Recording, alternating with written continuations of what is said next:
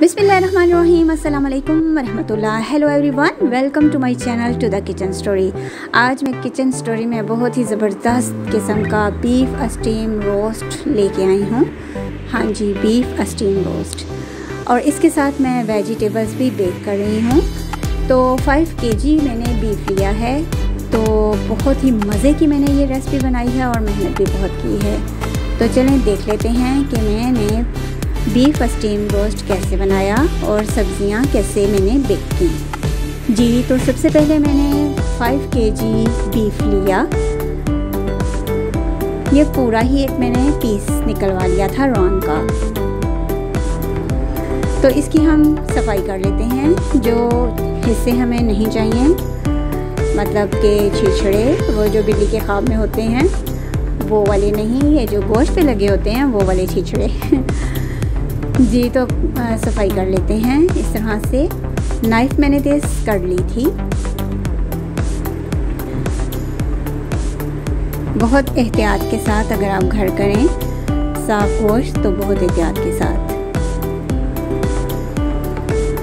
ये देखें, इस तरह से ये हमें वाइट पार्ट जो है बिल्कुल भी नहीं चाहिए। क्योंकि ये गलता नहीं है तो इसकी हमें ज़रूरत नहीं है। जी। तो एक तरफ़ से मैंने इस तरह से साफ़ किया। ये देखें, बीच में भी थोड़ा रह गया था। यहाँ से भी मैं इसको साफ़ कर रही हूँ। जो जो पार्ट हमें नहीं चाहिए, वहाँ से मैं सारी सफ़ाई कर दूँगी।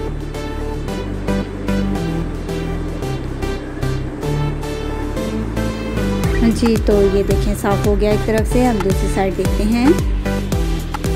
टिश्यू से पहले थोड़ा सा साफ़ कर लेती हूँ। ताकि ये थोड़ा खुश्क हो जाए।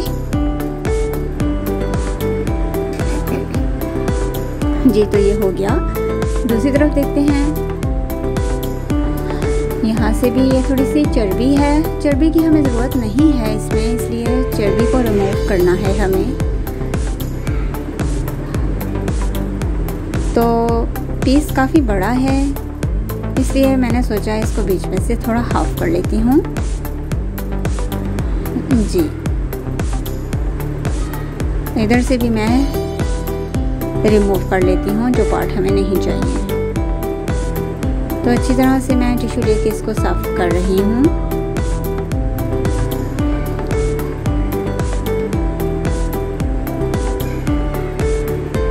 तो अच्छी तरह से इसको मैंने खुश कर लिया। देखें कितने मज़े के हमारे पीस निकले हैं।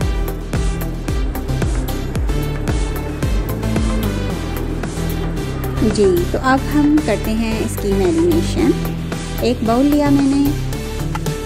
ये दही आधा किलो मैंने लिया था और इसको मलमल के कपड़े में लटका दिया था मैंने। तो ये देखें। ये गाढ़ा सा हमें दही मिल गया। अदरक है, कुटा हुआ, तीन टेबल स्पून इसके अंदर मैं थ्री टेबल स्पून यानी कि ऐड कर रही हूँ। थ्री टेबल स्पून ही, इसके अंदर मैं लहसुन की पेस्ट ऐड कर रही हूँ।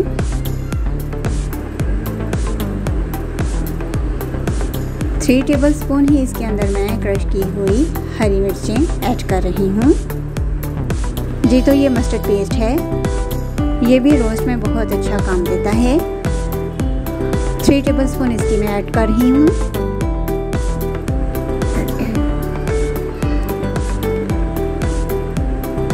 जी तो ये तंदूरी मसाला मैंने ले लिए थे दो पैक। आप किसी भी कंपनी का ले सकते हैं।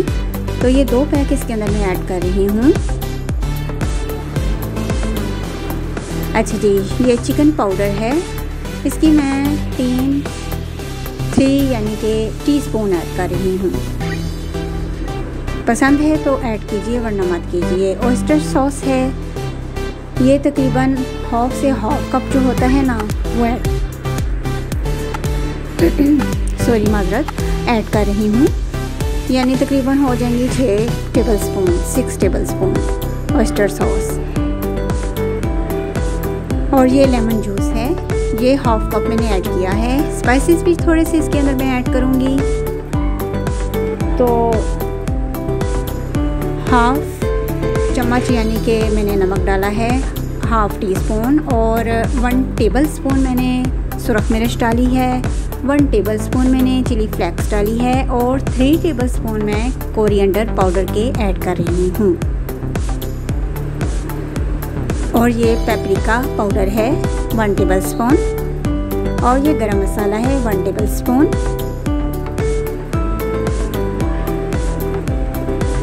हरा धनिया ऐड कर रही हूँ।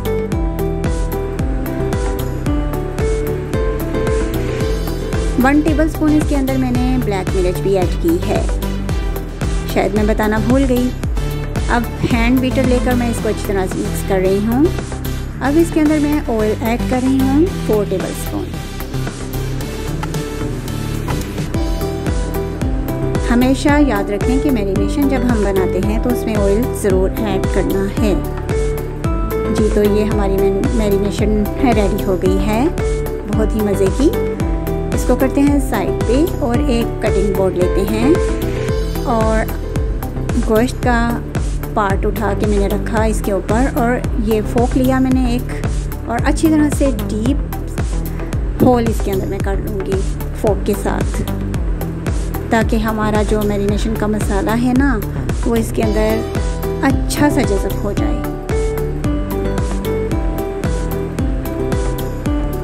तो ये देखें, इसी तरह मैं सारे कट्स लगा लेती हूँ। कट्स क्या? होल लगा लेती हूँ। जी तो एक खुला पैन मैंने ले लिया बर्तन और इसके अंदर मैंने गोश्त ऐड किया और ये मैरिनेशन जो हमने बनाई थी, ये भी इसके अंदर मैंने ऐड कर दी।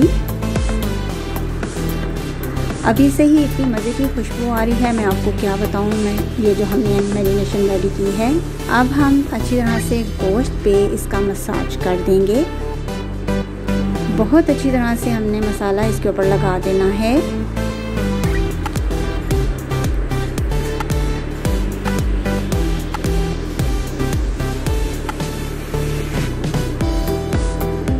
किनारे साफ़ किया मैंने, अब मैं इसके ऊपर रैपिंग शीट लगाऊँगी। जी तो मैं इसको रैप कर रही हूँ।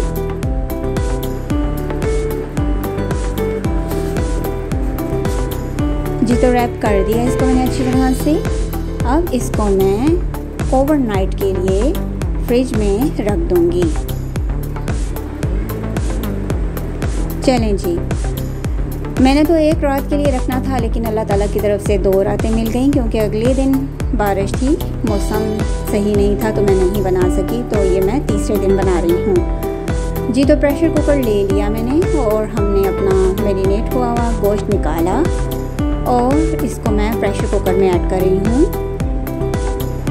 क्योंकि हम इसको स्टीम करेंगे पहले। और ये जो थोड़ा सा बचा है, इसको साइड पे करते हैं। मैं आपको बताती हूँ क्या करना है। इसके इसको, ये देखिए मैंने फ्लेम ऑन कर ली है। प्रेशर कुकर मैंने रखा। इसके अंदर मैं तकरीबन दो गिलास पानी के ऐड कर दूँगी। ऐड कर दिए, वो पता नहीं सीन क्यों कट गया, आया नहीं बीच में। तो चलें, विसल मैं इसका लगा रही हूँ। तो तकरीबन मैं आपको टाइम बताती हूँ कि ये कितनी देर में बना। अच्छा जी, ये जो मैरिनेशन हमारी बच गई थी ना, इसमें मैं ये एक मैंने गाजर ली थी। बीच में तो थोड़ी सी ख़राब निकल आई थी, हालाँकि गाजर, एक मुझे हंड्रेड रुपीज़ की मिली थी। दो अदद मैंने टमाटर लिए थे और बीज रिमूव कर दिए थे। एक अदद मैंने प्याज लिया था, बड़ा लंबाई में काट लिया था, शिमला मिर्च भी ली है दो अदद और क्यूब्स में काट ली हैं। और ये छोटा फूल एक मैंने लिया था बंद गोभी का, ये भी काट लिया रफली और ये मैंने आलू दो लिए थे बॉईल कर लिए थे हल्के से। ये भी ऐड करती हूँ और इनको अच्छी तरह से मिक्स कर लेती हूँ। अच्छी तरह से मैंने इसको मिक्स कर लिया। अब मैंने इसको एक बाउल में ऐड कर लिया है और 15 मिनट के लिए इसको फ्रिज में रख दूँगी। अच्छा जी, गोश्त देखते हैं। दो पीसेस जो हैं वो मैं पहले निकाल चुकी हूँ, क्योंकि पीसेस बड़े थे। तो वो हो गए थे तो मैंने निकाल लिए थे। तो ये सबसे बड़े वाला पीस जो है, इसको मैंने दोबारा रख दिया था, ये भी हो गया है तो मैं निकाल लेती हूँ इसे। ये देखें, ये पहले जो पीस मैंने निकाले थे, कितने मज़े का हमारा ये स्टीम हो गया है गोश्त तो दूसरा पीस भी मैं निकाल लेती हूँ। बहुत भी केयरफुली बहुत गर्म होता है, और ध्यान से निकालिएगा। जी तो अब थोड़ा सा ठंडा करते हैं इसको।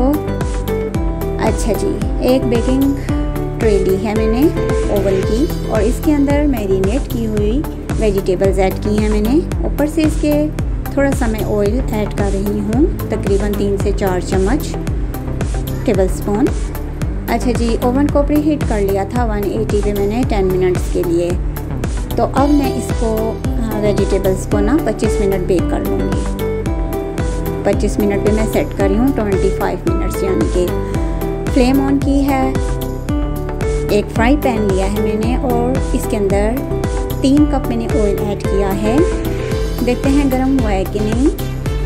तो थोड़ा सा गरम हो ही चुका है। अब हमने क्या करना है? हमने गोश्त को हल्का सा ना फ्राई करना है। ज़्यादा फ्राई नहीं करना, बस दो दो मिनट हर तरफ़ से हमने फ्राई करना है। यानी कि दो मिनट अभी एक तरफ़ से होगा, फिर मैं इसको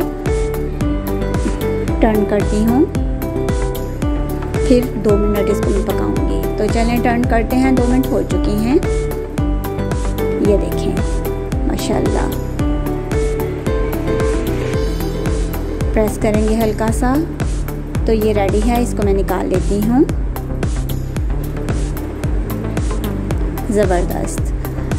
तो चलें, दूसरा भी मैं पीस डाल लेती हूँ और इसको भी फ्राई कर लेती हूँ। वेजिटेबल्स भी हमारी बेक हो चुकी हैं। निकालते हैं इनको। माशाल्लाह। लें जी, वेजिटेबल्स भी हमारी रेडी हैं। गोश्त भी हमारा फ्राई हो चुका है और ये मैरिनेशन जो हमारी पकी हुई बची थी, इसको हम एक ब्रश की मदद से गोश्त के ऊपर लगा लेंगे ताकि हमारा गोश्त जो है वो ज़रा रूखा रूखा ना लगे ऊपर से। एक कटिंग बोर्ड लेती हूँ और आपको मैं गोश्त के पीस करके दिखाती हूँ कि ये कितने मज़े के रेडी हुए हैं। तो ये देखें।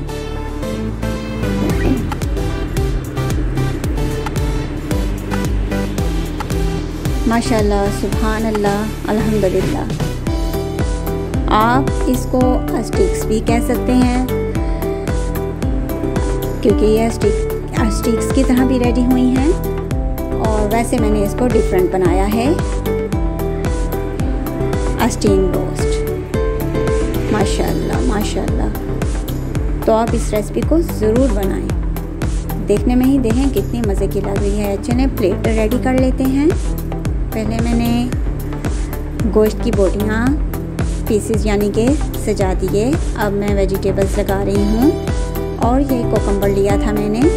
एक और इसको मैंने वैसे मैं छिल, छिलकों समेत रखती नहीं हूँ, लेकिन मैंने सोचा, चलिए मैं भी आज छिलकों समेत काटती हूँ। थोड़ा सा मैंने हरा धनिया छिड़का तो ये देखें मज़े की मैंने दही की हरी चटनी रेडी की और ये वो मैरिनेशन जो बची थी और ये हमारी बेक्ड सब्ज़ियाँ वेजिटेबल्स और ये हमारा प्लेटर माशाल्लाह से वाह अल्हम्दुलिल्लाह, मुझे देख के ही बहुत खुशी हो रही है और खाने में तो बहुत ही मज़े का था। तो मुझे दीजिए इजाज़त और अपनी दुआ में ज़रूर याद रखिए और इस रेसिपी को ज़रूर ट्राई कीजिए, क्योंकि ये बहुत मज़े की बनी थी। थैंक यू टेक केयर अल्लाह हाफिज़।